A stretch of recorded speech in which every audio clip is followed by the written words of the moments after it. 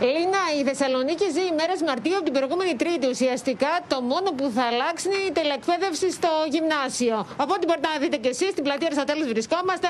Είναι λιγοστοί οι Θεσσαλονίκη που κυκλοφορούν, κυρίως γονείς που πηγαίνουν να πάρουν τα παιδιά του από το σχολείο και κάποιοι εργαζόμενοι. Οι έλεγχοι συνεχίζονται με, με εντατικούς ρυθμούς από την αστυνομία. Ελέγχουν πολίτες αλλά και οδηγούς αν διαθέτουν απαραίτητη βεβαίωση εργοδότη, αν έχουν στείλει το SMS για την κυκλοφορία τους. Αυτό ωστόσο που μας προβληματίζει είναι τα νοσοκομεία που δοκιμάζονται. Ακούσατε και τον κύριο Τσιόδρα να λέει ότι είναι ε, το 78% των μεθ κατηλημένων στη Θεσσαλονίκη. Ενδεικτικά θα σας πω ότι στο Ιπποκράτιο, μετά τη χθεσινή εφημερία, από εκεί που είχε 30 ασθενείς, έχει φτάσει στους 100 ασθενείς με COVID, δεν υπάρχει ελεύθερη κλίνη και οι εργαζόμενοι αγωνίουν τι θα γίνει την επόμενη εφημερία.